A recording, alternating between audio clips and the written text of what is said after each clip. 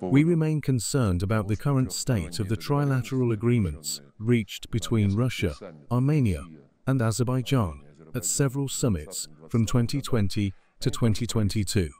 These agreements, particularly those concerning the resumption of transport links and the activities of the Trilateral Commission, have experienced significant delays and are currently inactive.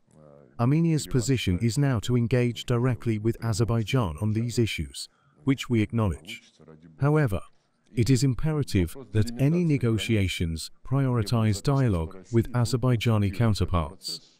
Furthermore, the issue of border delimitation, which was initially to be guided by Russian advisement, has not progressed as anticipated.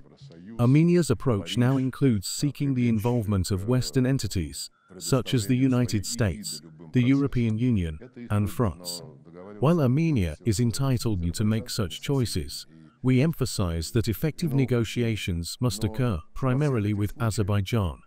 Despite these challenges and differences, Russia and Turkey have a shared understanding of each party's positions.